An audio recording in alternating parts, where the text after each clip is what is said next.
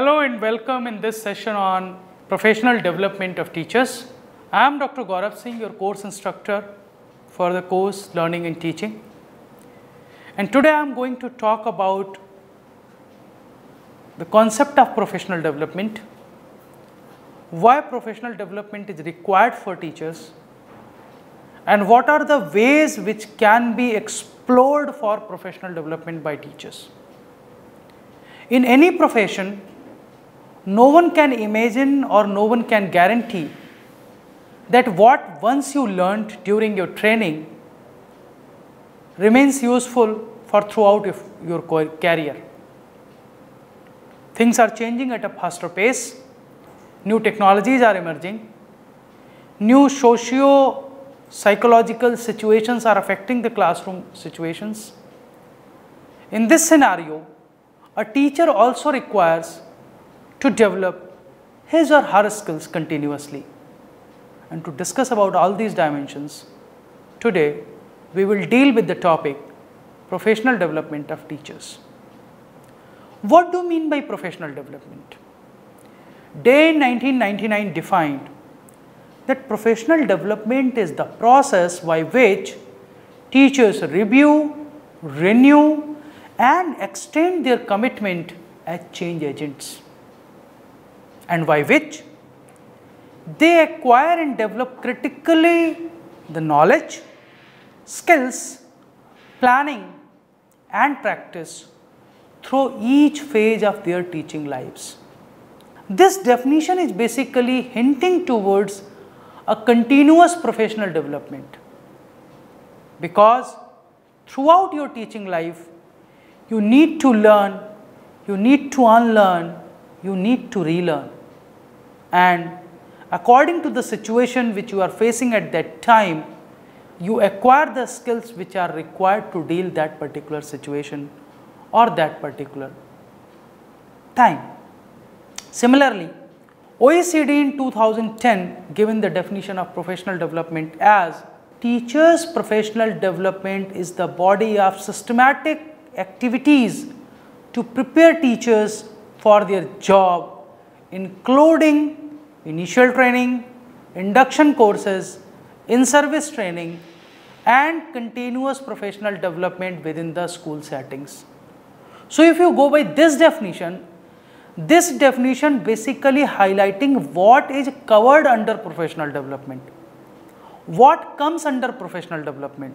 So, this definition includes the initial training, induction, in-service training and the activities which you complete or in which you participate as continuous professional development activities all comes and all contribute for your professional development.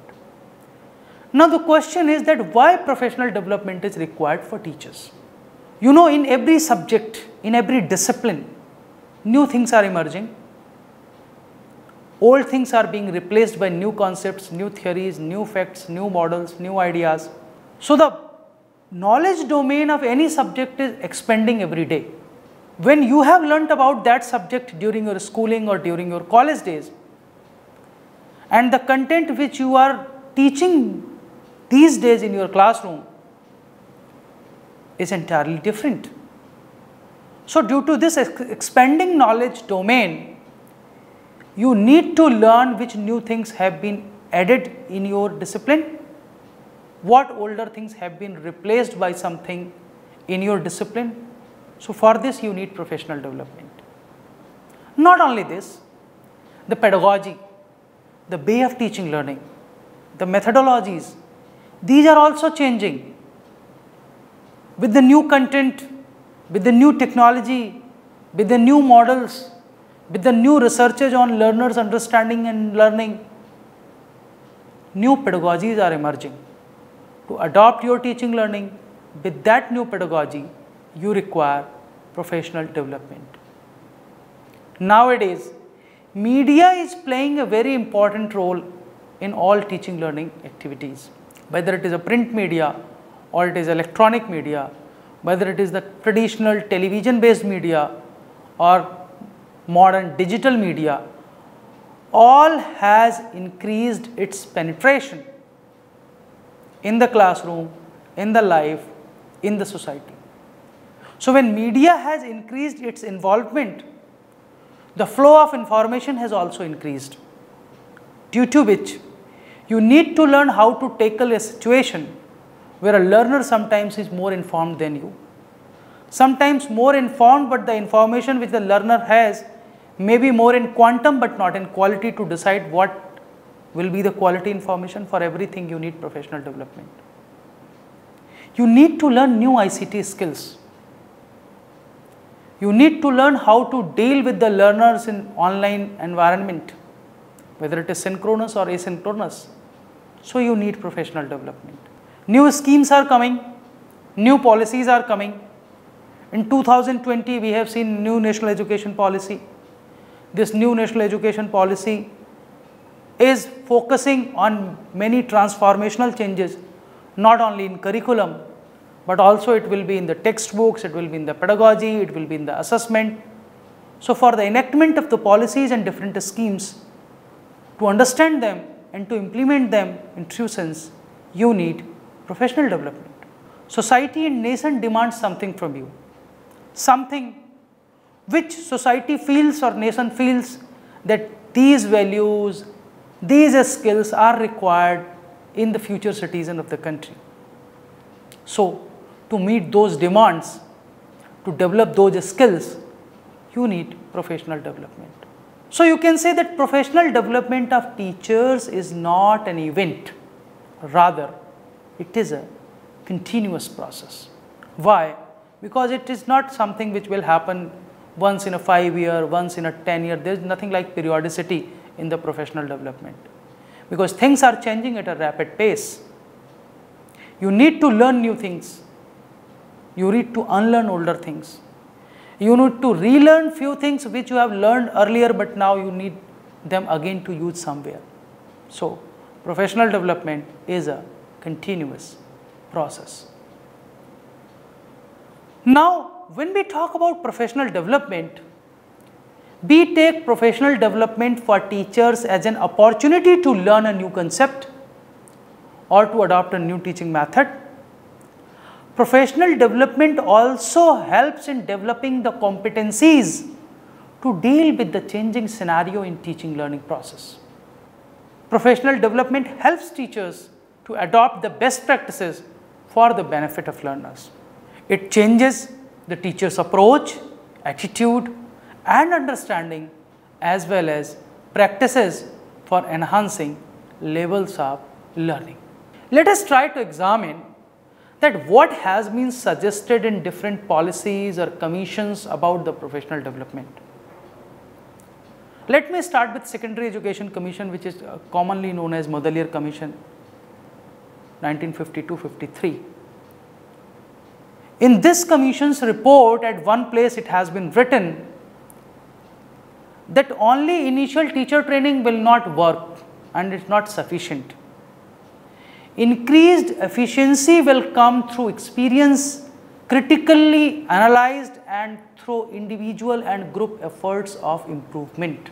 So, here Secondary Education Commission is focusing on gaining new experiences, analyzing the situations not only as individually, but also as a group. So, if you read the report of Secondary Education Commission, it has recommended the programs like refresher courses, short intensive courses for special subjects, practice training workshops, seminar and professional conferences and also the commission recommends that institutions should facilitate and encourage the staff means the faculty to serve as consultants to a school or a group of schools for conducting some programs of improvement. So, if you see the recommendations of Secondary Education Commission which was basically focusing on school education, it has been suggested that the school teachers should continuously be involved in the refresher courses. If not the long duration refresher courses, then short term intensive courses in different subjects, specifically the pedagogical subjects. Training institutions and organizations can organize some practical trainings in the pedagogy in form of workshops. They may be encouraged to share their new experiences, their best practices through seminars and professional conferences and they should be encouraged to act as consultant wherever possible. After this in 1964-66, we have seen the report of the Education Commission which is commonly known as Kothari Commission. So, Kothari Commission conceptualized the concept of school complex, means a consortium of schools. With a nodal school, that school will shoulder the responsibility for continuous professional development of teachers who are working in the school and it should be established. Then in 1983-85, there was a report of National Commission of Teachers, which is called National Commission of Teachers 1.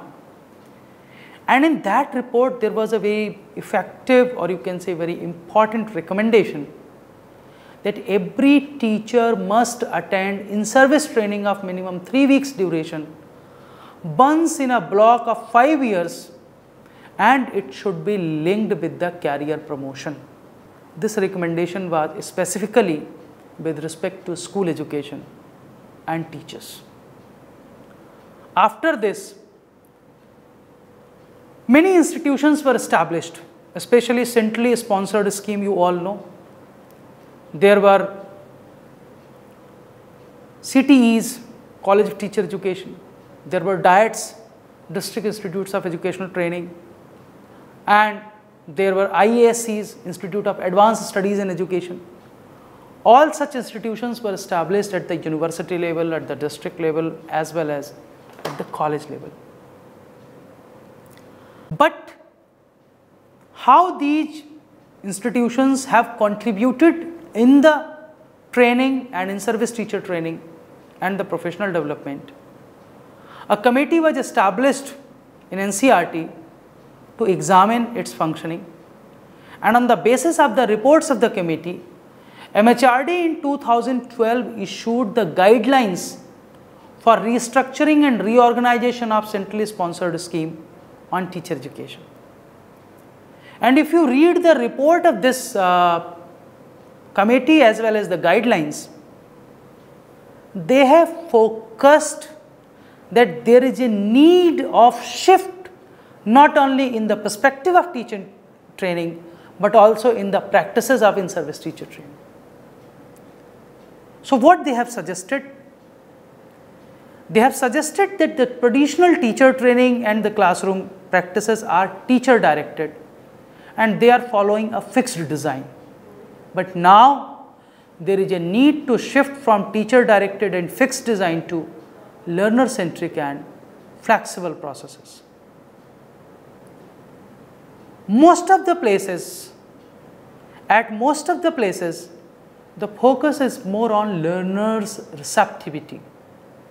Whereas now there is a need to shift a focus towards learners as an agency of learning and their participation in the learning process.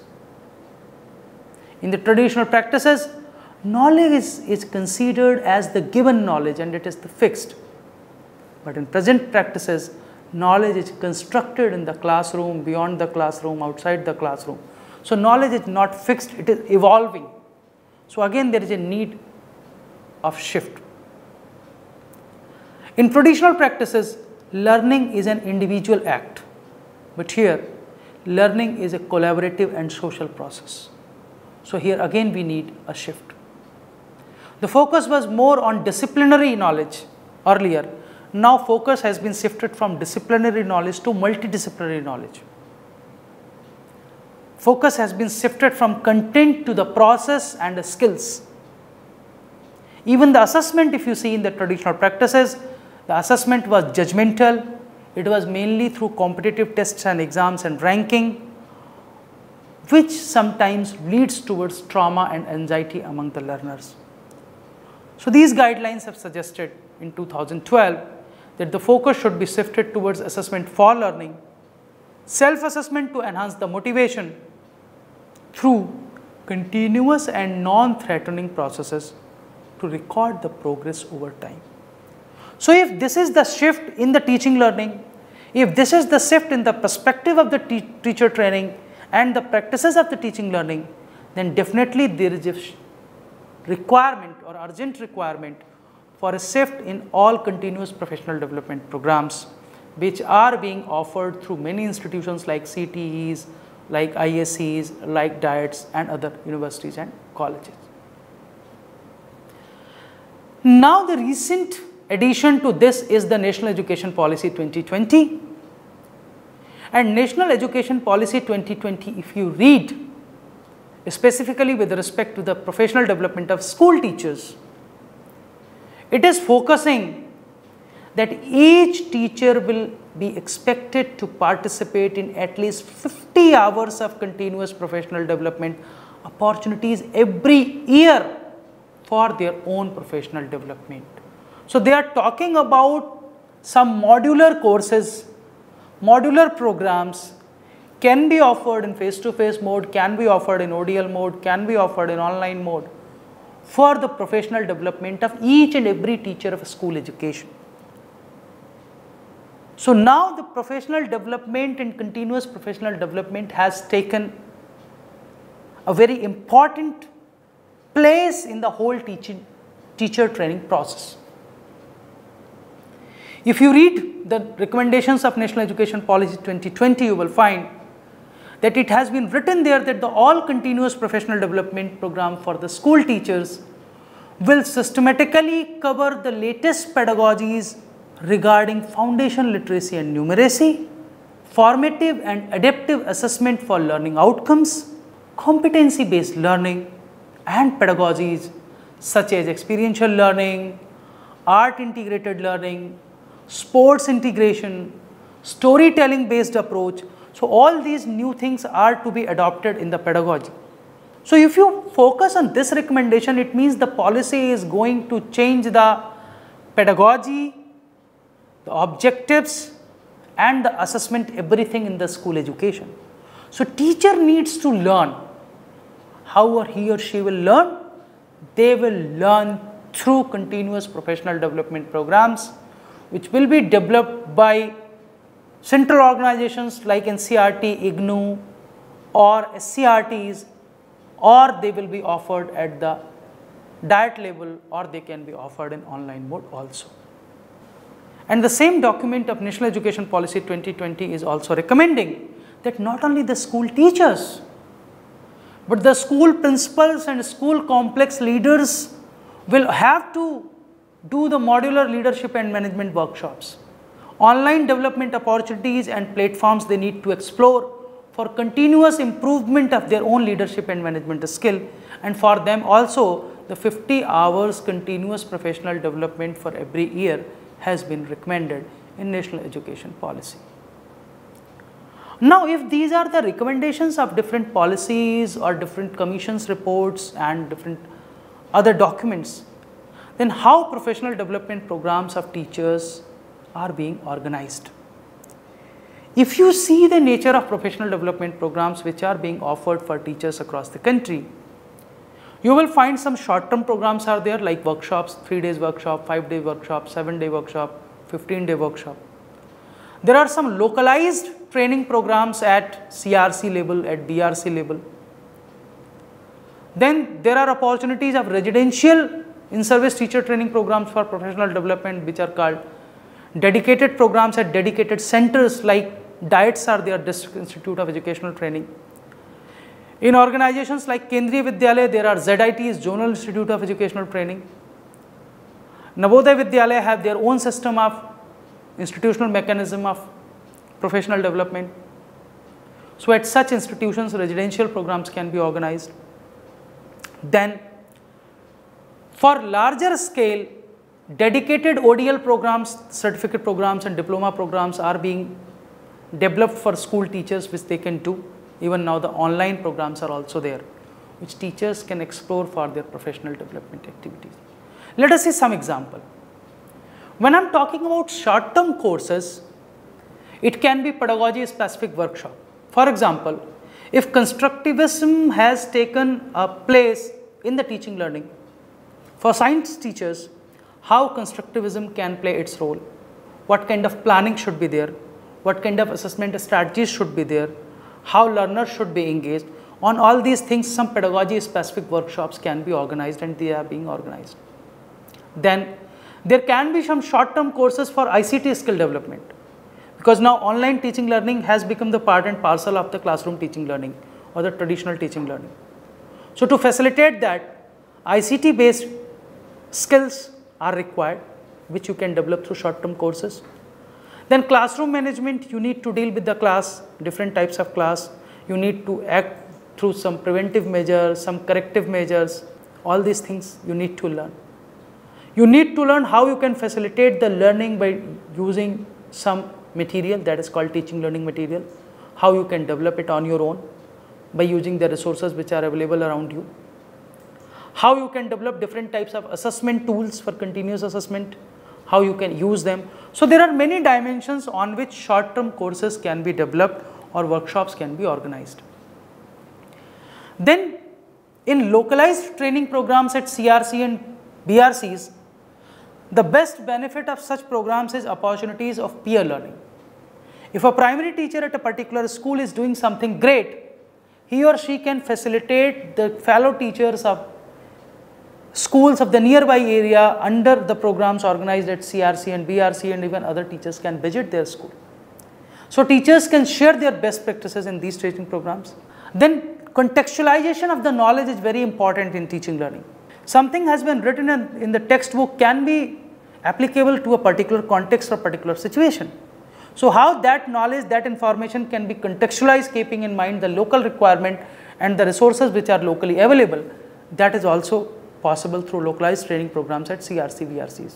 And resource mobilization means if resources at, at one school, how these resources can be used by the nearby schools, that is also an important concept. Then the residential programs.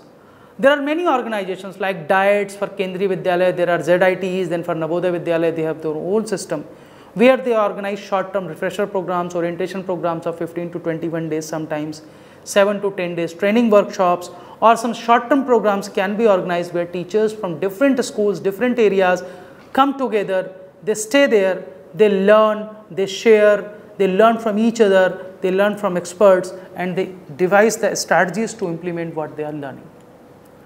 Then in recent past we have seen some dedicated ODL programs of certificate and diploma type. Like for Kendriya Vidyalaya primary teachers Indira Gandhi National Open University has organized a 6 month intensive in-service teacher training program in the name of continuous certificate program for professional development of primary teachers and more than 12,000 teachers of all Kendriya Vidyalayas were trained through this certificate program of 6 months. Similarly, for Himachal Pradesh teachers, school teachers, National Institute of Open Schooling has offered a professional development program for primary teachers. So many such programs of 3 month duration, 6 month duration can be designed, can be implemented by using the infrastructure and the resources available at ODL system. And Online programs are there nowadays, webinars are being organized, e-conferences are there, e-workshops are there. Now the focus is on modular MOOC courses. If you see the recommendations of the National Education Policy 2020, it is also talking about modular MOOC based programs of uh, 1 credit or 2 credit duration. Then there can be some dedicated short term online courses or programs of 3 months, 6 month duration. There can be experiments like complete teacher training program as National Institute of Open Schooling has trained more than 14 lakh teachers by using its diploma in elementary education in online mode for about 18 months. Then there can be some pedagogy specific courses, for example, course for science teachers, course for social science teachers. IGNOU has already experimented with a course in pedagogy of science. So there are many opportunities for professional development.